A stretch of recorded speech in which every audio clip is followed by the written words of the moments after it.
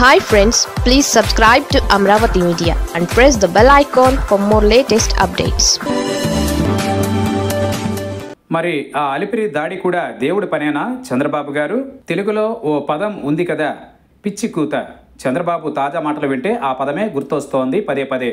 నా నోట వెంకటేశ్వర స్వామే చెప్పించాడు అనే మాట. చేసేది చేసి దేవుడే చేయించాడు అనడం ఏంటి నిజమేనా? మరి నాడు అలిపిరి దాడి కూడా సాక్షాత్తు ఆ శ్రీవారే చేయించాడంటావా?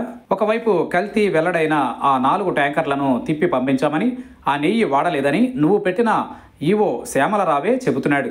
మరి ఆయన నీకు చెప్పిందేంటి? నువ్వు జనానికి చెప్పిందేంటి? ఎందుకు చెప్పినట్టు?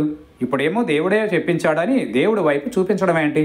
ఎస్ చంద్రబాబు మాటలకు చేతలకు విశ్వసనీయత ఎంతో అందరికీ తెలుసు.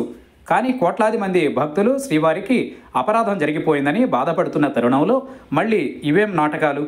ఒక ఆయనేమో ప్రాయశ్చిత్త దీక్ష చేస్తాడట. తప్పు చేసింది ఎవరో కదా.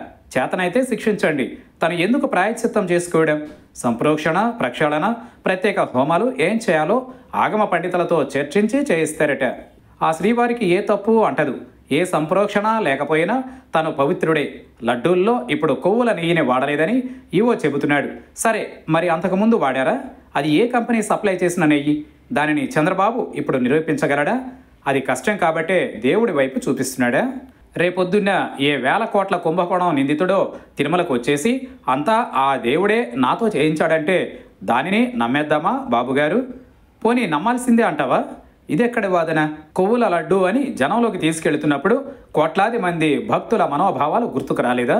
పోనీ అసలు ఆ నెయ్యే వాడలేదనేదే నిజమైతే మరెందుకు నువ్వు జనానికి ఏం చెప్పినట్టు? ఎందుకు చెప్పినట్టు? కొవ్వుల నెయ్యి వాడకం జరిగిందని చెబుతున్నావా? నెయ్యి తెచ్చారు కానీ వాడలేదని చెబుతున్నావా? వాడకపోతే ఏంటి రాద్ధాంతం? నిజంగానే జగన్ చెప్పినట్టు రాజకీయ దురుద్దేశంతోనో ఏదో మార్మిక వ్యూహంతోనో జగన్ మీద ఈ లడ్డు అస్త్రం ప్రయోగిస్తే ఆ దేవుడితో ఆడుకుంటే తను ఊరుకుంటాడా? అలాగని జగన్ పాలనలో తప్పులు జరగలేదని కాదు. బేసిక్గా ధర్మారెడ్డి భూమన వైవి సుబ్బారెడ్డిలే ఐదేళ్ళు తిరుమల పాలనను భ్రష్టు పట్టించారని జనమంతా జగమంతా